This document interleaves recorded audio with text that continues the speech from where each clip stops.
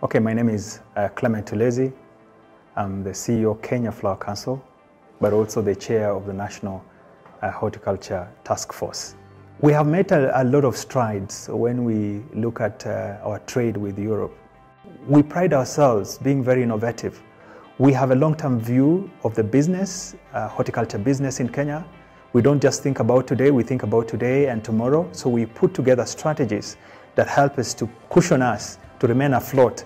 And therefore 2022 looks very promising. We are looking forward to a good 2022.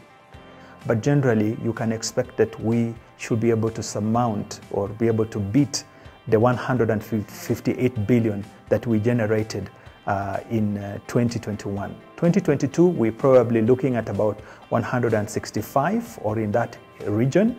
And for us, that is still a growth for us. So long as we keep pushing the numbers up, we'll still be happy. We'll not be happy if we, the numbers uh, start coming down. But over the last 10 years, we've demonstrated that uh, we are responsible enough and we understand the business and trade and we can be able to get to those numbers. Those are the issues we are going to discuss with the different interlocutors that we are going to meet uh, in both in, uh, in Germany and Belgium and also uh, Germany uh, later and Netherlands. We believe that with this engagement, we should be able to surmount some of those challenges very soon.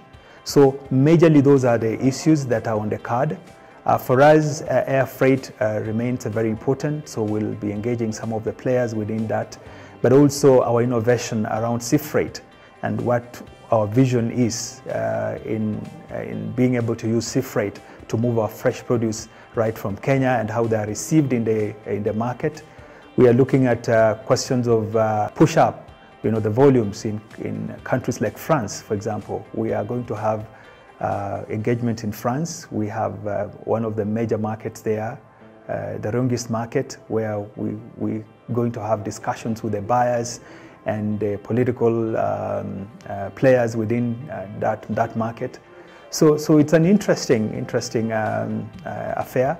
But we're also roping up in, in all those countries. We have our um, foreign missions supporting what we are doing, and a lot of work that will remain behind. We should be able to continue uh, on behalf of Kenya, negotiating with those uh, uh, countries and relevant people. So it is not just us who will be on the delegation, but also our foreign missions, the Kenyan foreign missions within those countries, to be roped in this discussion with a good understanding.